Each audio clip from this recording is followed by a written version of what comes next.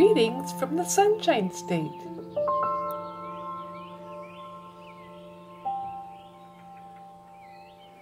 Well, I still have plenty of leftover paints, and this is one of those days when I just can't narrow down what I want to do with them.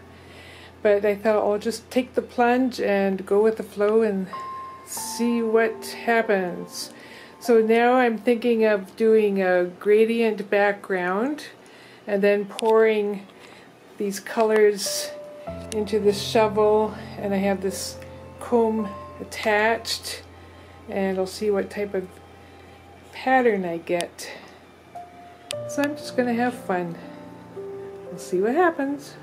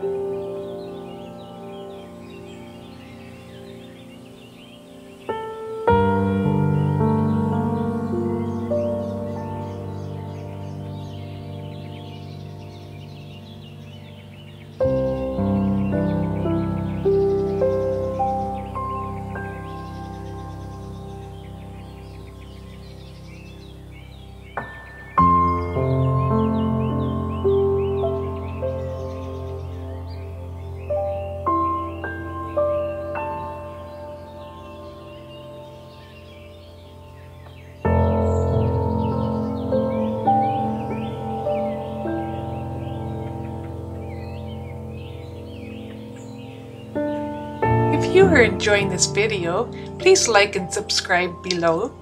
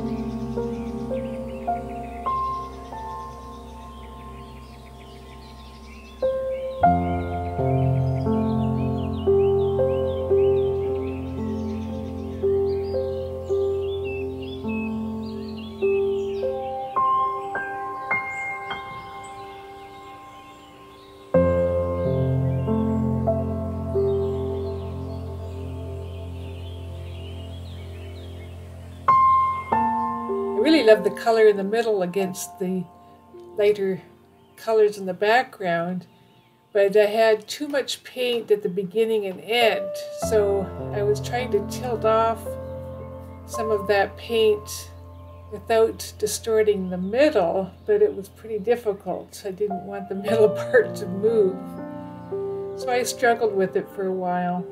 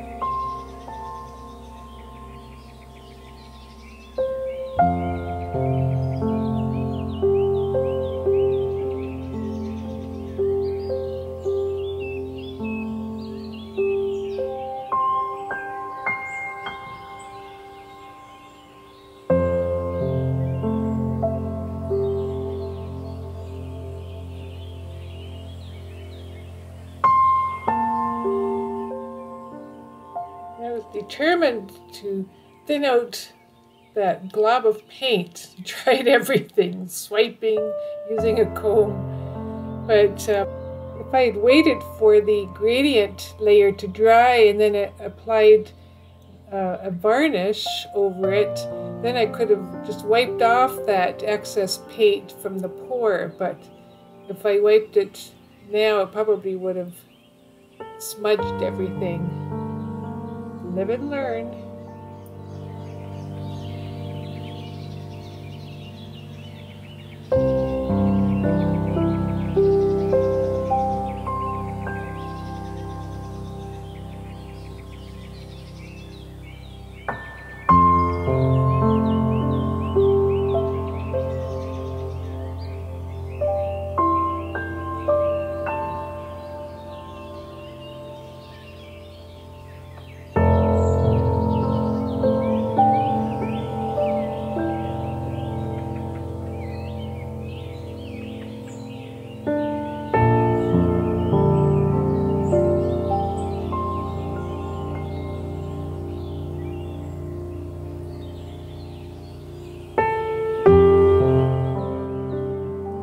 Even pulled out the air gun to try to thin out the paint by doing some feathering.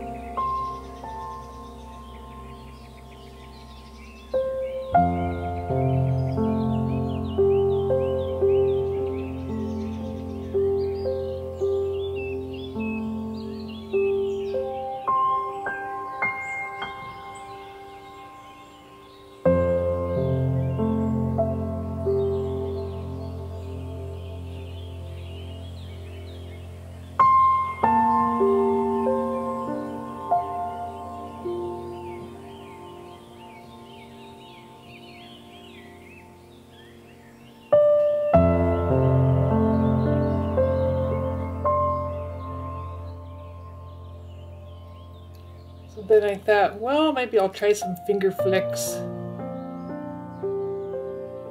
I was just splattering paint all over the room.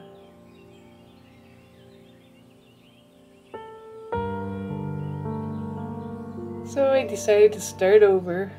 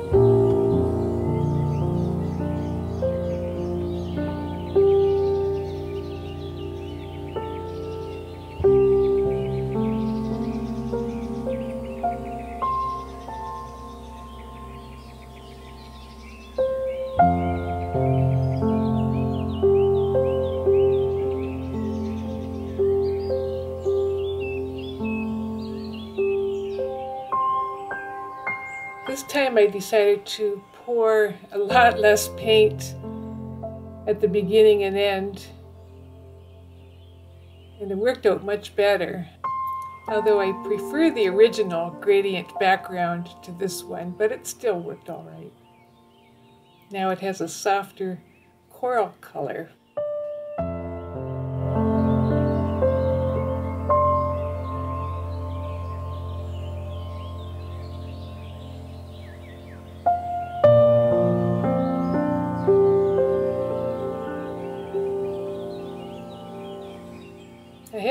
Had left in the shovel. For some reason, they decided to add more to that end.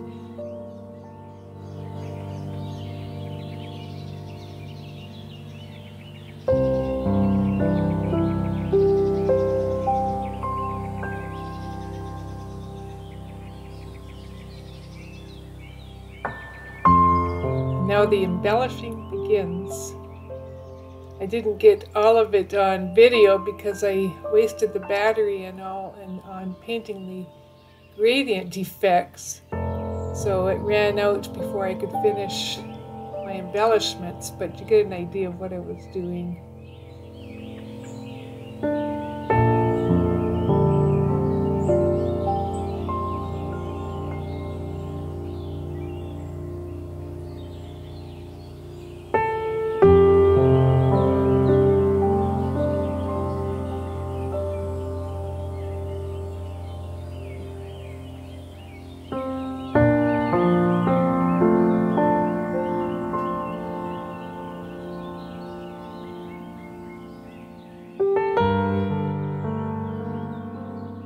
Here's a close-up.